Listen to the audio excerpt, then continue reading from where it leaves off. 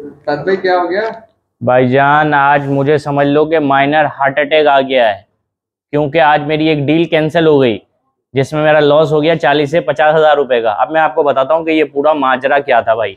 हमने, हम हमेशा हमारे क्लाइंट्स के स्टोर जब भी बनाते ना तो प्राइवेट लिमिटेड कंपनी और प्रॉपर ट्रेडमार्क क्रिएशन करते हैं। अब क्लाइंट ने कहा कि, साथ भाई, आपके चार्जेस थोड़े ज़्यादा हैं, हमारा एक रिश्तेदार है जिसके साथ मैं ये ट्रेडमार्क करना चाहूँगा। तो हमने बोला वेल एंड गुड भाई, ये हम, हमारा ये काम हमारे सर से हटाएँ और आप खुद करवाएँ, ठीक है? उस क्लाइंट ने करवा लिया, सारी चीज़ें हो गई। अब आज, जब उसको स्टोर को बेचना था, जब हमें एक अच्छी अमाउंट उससे जनरेट करनी थी तो पता चला कि वो जो ट्रेडमार्क अप्लाई हुआ है, वो बिल्कुल गलत अप्लाई हुआ है और अब वो ट्रेडमार्क कोई काम का नहीं है।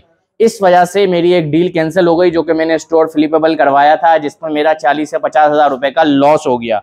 वो तो एक अलग बात है लेकिन ये लॉयर काफ़ी ज़्यादा तंग करते हैं कंपनी बनाने में ट्रेडमार्क बनाने में तो इन सब का सोलू मैं भी इस चीज़ से काफ़ी ज़्यादा पहले परेशान था तो अब मैंने ये बिज़नेस खुद ही स्टार्ट कर लिया है, ठीक है? तो जिसको भी कंपनी बनानी हो ट्रेडमार्क बनाना हो, वो मुझसे कांटेक्ट कर सकता है, हमारा फेसबुक पेज भी है एस आर एल कॉमर्सिफाई के साथ एस आर एल कॉमर्सिफाई के नाम से, ठीक है?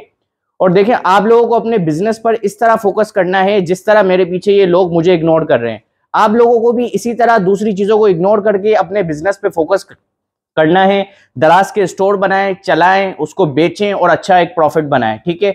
देखें मैं बताता हूँ, पैसा जो आपका बनेगा ना, वो बनेगा बिज़नेस बेचने से। बिज़नेस चलाने से इतना अच्छा पैसा आपका शायद ना बन, ना बने, ठीक है? अगर आपकी एज 18 से लेके 30 के दरमियान है तो अभी आप एनर्जेटिक हो, ठीक है ना? तो आपको ये करना है, दराज का स्टोर बनाओ प्राइवेट लिमिटेड कंपनी पर एक प्रॉपर ट्रेडमार्क बनाओ, एक ब्रांड बनाओ, दराज पर चलाओ। मैं आपको बताता हूँ, दुनिया में जो लोग अरबपति खरबपति बने ना, वो बने हैं वैल्यूएशन के चक्कर में।